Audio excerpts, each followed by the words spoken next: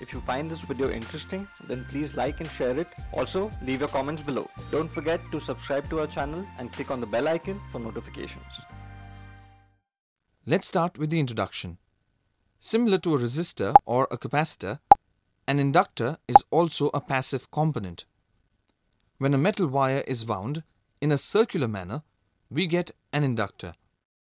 The symbol of an inductor is as shown. It is represented by a capital L and its unit is Henry.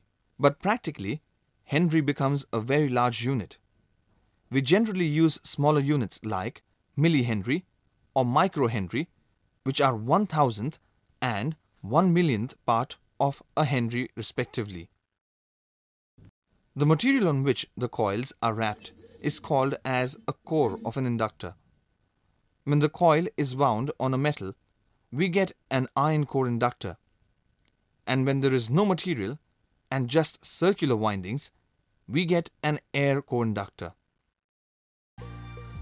If you find this video interesting, then please like and share it. Also, leave your comments below. Don't forget to subscribe to our channel and click on the bell icon for notifications.